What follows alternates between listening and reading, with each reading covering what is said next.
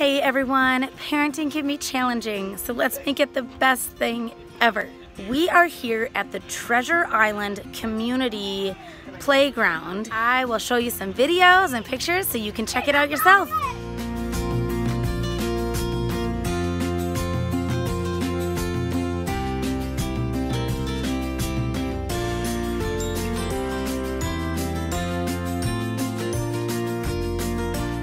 Playing around at the park for a little while and trying to follow my three kiddos around, I am very glad I'm here with some more adults. This playground is right next to a school, so you probably want to avoid coming here on a school day when kids are out at recess. So there are tons of little nooks and crannies that would make it very difficult to fit in for an adult area that looks like it would be good for smaller kids.